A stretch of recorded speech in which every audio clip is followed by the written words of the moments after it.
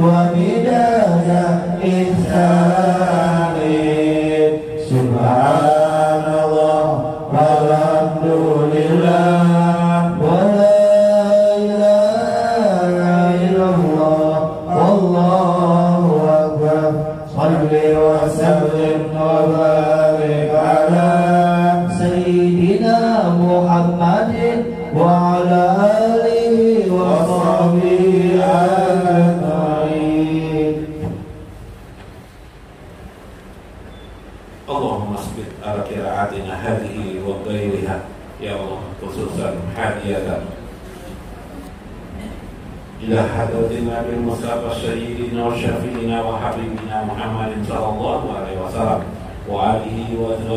وذريته وأهل بيته أجمعين ثم إلى أرواح الأنبياء والمرسلين والصالحين ثم إلى حضرة الزمن الخلفاء الراشدين سيدنا أبي بكر وعمر وعثمان وعلي رضي الله عنهم ثم إلى أرواح جميع أصحاب رسول الله منهم الأنصار ثم المهاجرين وزمن التابعين وتبع التابعين ثم إلى الروح إلى أرواح الأربعة المجتهدين Imam Hanafi wa Imam Maliki wa Imam Syafi'i wa Imam Hanbali muqalidihim bidin Suma ila Ruhi Imamina Syekh Abu Hasan al-Ash'ari Suma ila Hadrati Sultan al-Awliya Sayyidina Syekh Abdul Qadir al-Jailani Wa Syekh Abu Hasan al-Sadiri Wa Syekh Ibn Atarilah Wa Syekh Abdul Karim Saman al-Ma'adani Wa Syekh Sayyid Muhammad Ali al-Maliki al Hasan. Wasai Muhammad Asad Al Banjari, Wasai Muhammad Sayyidi Ghani, semua daruri Sayyidina Muhajir Ilallahi Ahmad Ibni Isa. Suma ila ruhi Sayyidina Fakir Muqaddam Muhammad Ibni Ali wa Alawi.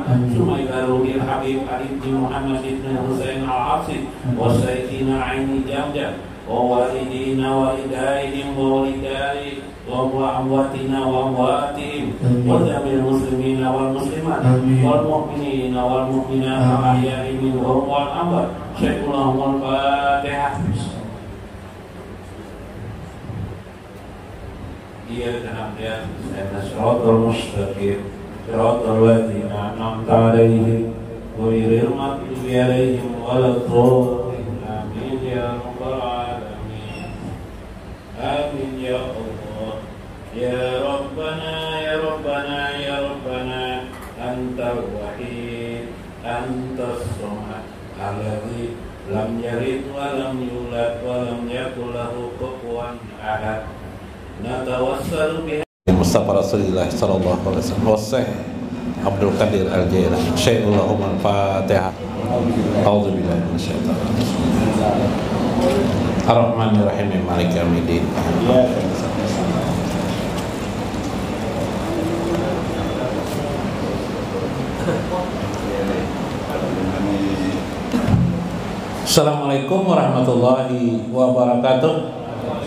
Bismillahirrahmanirrahim.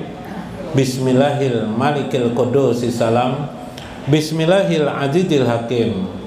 Wassalatu wassalam Ala sayyidina wa nabiyyina Muhammad Wa ala alihi wa sahbihi ajma'in. Fa inna insyaallah nabhasu li kitab Syekh Abdul Qadir Al-Jailani Patur Rabbani wa nafa'na bihi wa ulumihi bidarain amin ya rabbal alamin mudah-mudahan melatih saluran Syekh Abdul Qadir Al-Jailani. Keberkahan bagi kita untuk hidup kita di dunia ini. Kehidupan di alam barzah maupun di alam akhirat yaumuddin nanti insya Allah mudah-mudahan bukan hanya keberkahan kita peroleh tapi makin dekat kita kepada Allah dan Rasulnya sedekat-dekatnya. Amin ya robbal alamin. Dalam kitab Sajaratul Ma'arif Syekh Ijuddin Abdi Salam nah Syekh Ijuddin Abdi Salam ini hidup kira-kira 500 lahir 570 hijrah sekitar itulah 570 hijrah Syekh Abdul Qadir Jalani itu meninggal tahun berapa hijrahnya itu 500 berapa? 511 kah? 578 kah? Nah, Syekh Abdul Qadir Jalani meninggal, Syekh Ijuddin Ibnu Abi Salam lahir. Nah, itu kan? Nah, nantikan. Dikenal beliau sebagai Sultanul Aulia, banyak sekali kitab-kitab beliau. Salah satu kitab yang ditulis beliau adalah Sajaratul Ma'arif. Artinya pohon ma'arif orang yang bijaksana atau pohon kebijaksanaan subhanallah berkata Syekh Ijuddin Ibnu Abdi Salam faman takhallaqa bi sifati jatihi saluha li wilayati waridwanihi panazkuru bi kulli sifatin daliliha wa barang siapa yang berakhlak dengan akhlak sifat-sifat jad Allah Subhanahu wa taala maupun sifatnya Allah saluha liwilayati maka orang itu masuklah ke wilayah kewalian. Wilayah kewa kewalian. Waridwani dan wilayah orang yang diridhoi oleh Allah Subhanahu wa taala. Banyak orang kita juga muslim hidup itu sekedar melaksanakan kewajiban selesai. Sholat sudah selesai. Saya kan sudah sholat saya sudah haji saya sudah jakat selesailah tugasku padahal firman Allah itu wa ma khalaqtul jinna wal insa ila liya'budun. Seluruh hidup kita ini sebenarnya untuk beribadah kepada Allah. Bila itu tidak kita lakukan, kita rugi. Resiko tinggi di akhirat itu. Yaumul Jaja itu yang namanya hari pembalasan itu miskola jarratin satu biji jarah saja amal baik atau buruk ketahuan orang terdeteksi. Kalau kita sekarang ini kan masih tidak terdeteksi ya lebih naik pesawat kadang ada aja orang masih lolos bawa gunting. Ya lah. Kadang orang masih lolos bawa apa Pip bawa narkoba. Ya kan Pip nah di akhiratnya bisa lagi seperti itu. Nggak bisa lolos amal baik kita ada amal buruk kita. Amal buruk ini menghantam kepada amal yang baik bisa? Dikerogotinya karena tidak sering ke, ke majlis talim gibah suka. Kemarin ada kan pelajaran gibah. Habis amal kebaikan nih. Nah karena tidak marifatullah tidak marifatullah nah ujar saya ujar saya Ijudin Abdul Salam. Ketahuilah Barang siapa yang ingin beribadah secara terus-menerus, beribadah terus menerus dalam hari-harinya. Takhalaka bisifati jati. Bagaimana dia memanifestasikan sifat-sifat Allah pada dirinya dan di kehidupan sehari-hari. Dimanifestasikan apa? Manifestasi itu apa? Gue anak apa manifestasi itu apa? Dilaksanakan di di apa? Digambarkan dalam dirinya dan kehidupan sehari sifat-sifat Allah Subhanahu wa taala. Hanya seperti itulah engkau akan mendapatkan ridho dari Allah Subhanahu wa taala bahkan engkau akan diberikan pangkat kewalian di sisi Allah Subhanahu wa taala. Al-ma'arif, ketahuilah seorang yang ma'arif.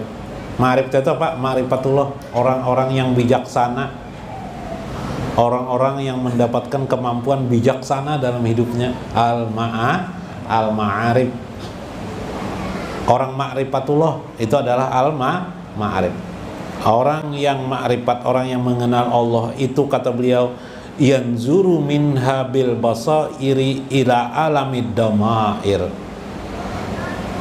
Hari-harinya perhatiannya dalam hidup ini secara tajam bil basair ila alami domair kepada alam domair domair itu alam tersembunyi. Kalau orang-orang duniawi yang dilihatnya alam-alam yang johir. Kalau orang ma'rifatullah orang yang mengenal Allah kata Sayyidudin Abdi Salam yang diperhatikannya domair domair itu alam tersembunyi. Alam doma domair atau alam domir. Ini melihat nih Nangki orang dunia melihat baju hijau berapa kira baju sidin ajar harganya? Iyalah, tuh orang jo johir. Orang yang tidak maripah itu yang dilihatnya. Guru tuh bawa mikrofon, rek mikrofon baru aja. Berapa kira harga mikrofon sidin aja? Nah, misalnya itu orang jo Adapun orang-orang yang ma'rifatullah yang mengenal Allah yang diperhatikannya domair, domair itu nang batin. Nah, batin itu salah satunya adalah Allah Subhanahu wa taala dan yang berkaitan dengan Allah. Allah dan yang berkait dengan Allah. Jadi yang dilihatnya tidak lagi mikrofon itu berapa harganya, apa yang tidak ada yang diperhatikannya adalah Allah memberikan mikrofon itu. Itu adalah karunia dari Allah Subhanahu wa taala. Kanan kirinya yang dilihatnya bukan manusia tapi adalah karunia-karunia Allah Subhanahu wa taala. Rahmat-rahmat Allah. Damair tuh itu yang tersembunyi. Uh ada hamba-hamba Allah merupakan karunia rahmat dari Allah Subhanahu wa taala. Nah, ini ilmu saya Ijudin Abdi Abdi Salam dari ilmu marifah. Patashadul qulub maka hatinya patashadul qulubu hatinya jatahu wasifatahu hati orang ma'rifatullah itu selalu dua hal yang diperhatikannya pokok atau tiga hal yaitu sifat Allah dan jad Allah. Yang diperhatikannya satu jatullah, dua adalah sifat sifatullah. Nah, yang diperhatikan itu ya jad Allah dan sifat Allah. Sifat Allah itu terurai nanti di asma-asma Allah, ya kah? Nanti terlihat juga di pecahan. Cuma kalau pokoknya ma'rifat itu jad Allah dan sifat Allah. Itu itu pokoknya.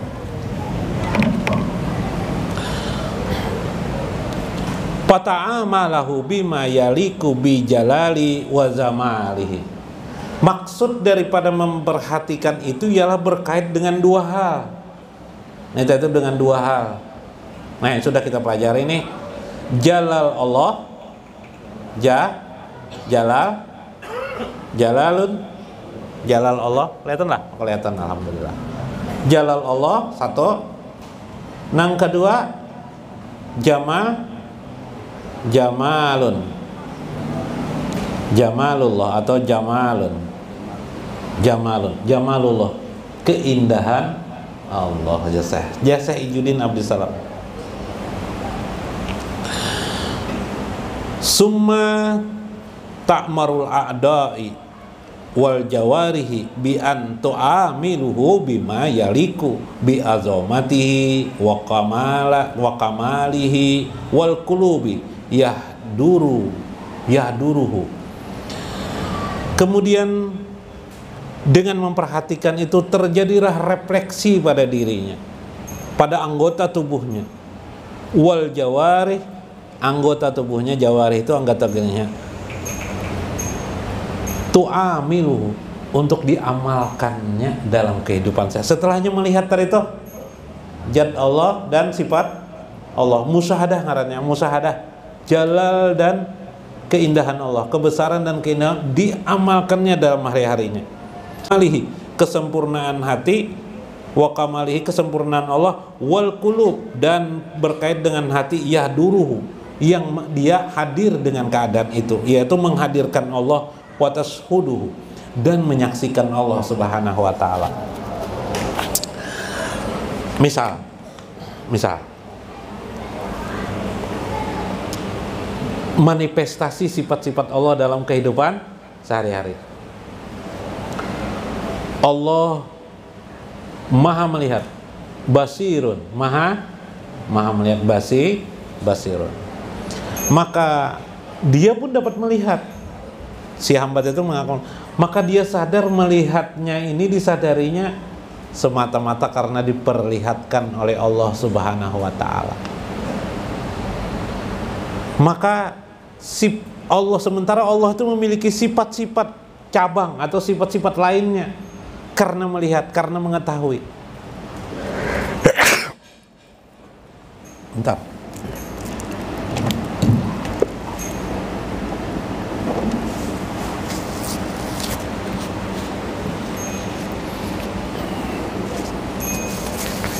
Maka melihatlah orang tersebut billahi semata-mata karena melihat dengan Allah.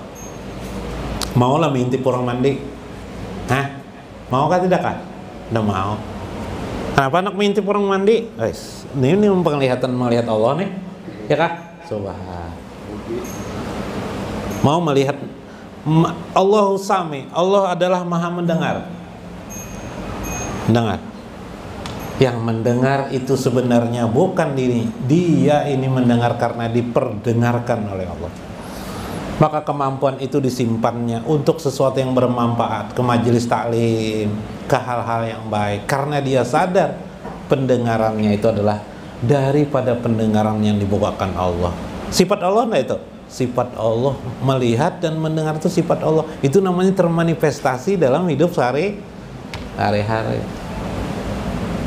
Pendengarannya, penglihatannya, yamsi biha. Dengannya dia berjalan kakinya bergerak berjalan ke mana diarahkan yamsi billahi. Dia berjalan bersama Allah. Sadarlah dirinya. Kalau istilah Syekh As-Sajili dalam kitab beliau Risalatul Amin dalam Risalah Al-Amin beliau mengatakan minallahi minallahi. Da, semua ini dari Allah.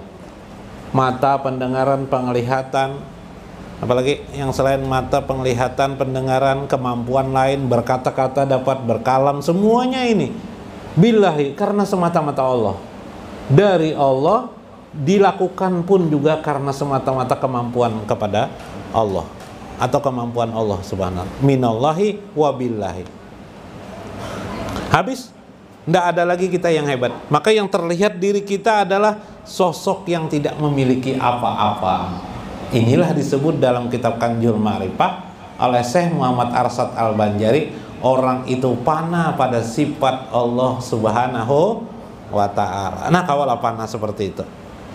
Panas pada sifat per Allah. Sehingga membesarkanlah dirinya kepada Allah Subhanahu wa taala. Kawai kira-kira lah mudah-mudahan kita bisa mempanakan diri kita. Mempanakan itu bermakna juga adalah manifestasi sifat-sifat Allah pada diri kita. Maka orang yang benar-benar beribadah kepada Allah itu ialah yang hari-harinya memanifestasikan sifat-sifat Allah dalam kehidupan sehari-hari. Bagian-bagian ini perlu dipahami. Jangan sampai nanti salah.